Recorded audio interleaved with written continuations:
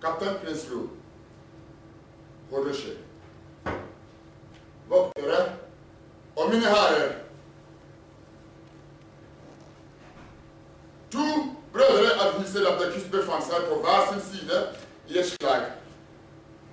Den einen försvarade staten, den anderen angrep Beide Bägge fall på slagmarken. Statens overhode, bestemte at den som hadde forsvarsstaten, skulle begraves med alle religiøse ritualer, slik den tilfaller en edel død. Men den andre, som var kommet tilbake fra eksil, Polynikes, forræderen, skulle ingen grav ha. Ingen skulle sørge over ham. Skulle bli liggende på åpen mark råtne, eller i beste fall bli føde for sjakaler.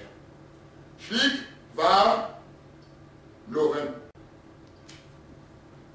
Men deres søster Antigone trosset loven og begravde liket til sin bror. Hun ble oppdaget og arrestert. Og Derfor i kveld vil selge eh, til Hodderski, celle 40, presenterer Antigones ve Sak Ostraf.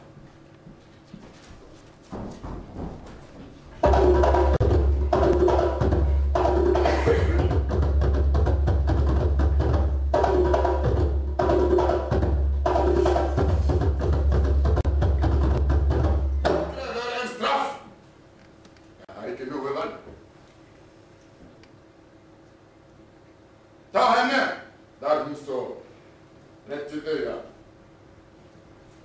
Mur henne inne i en celle for livstid, med akkurat nok mat at våre hender ikke skjeles til med hennes blod.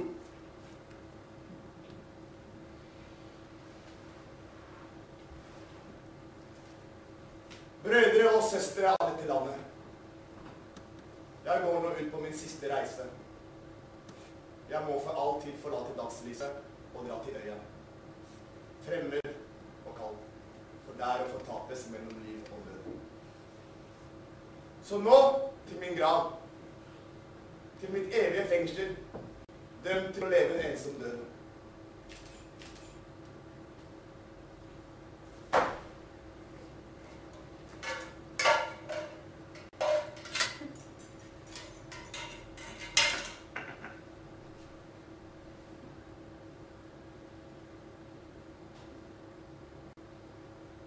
Våre forfedres guder.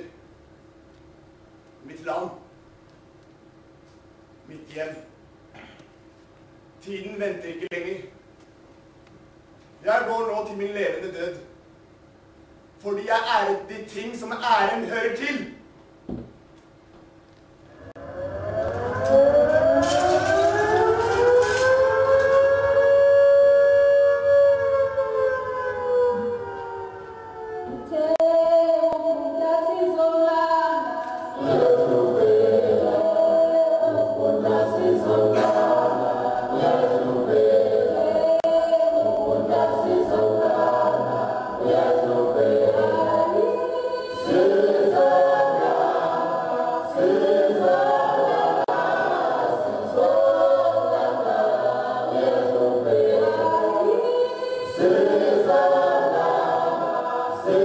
Lord.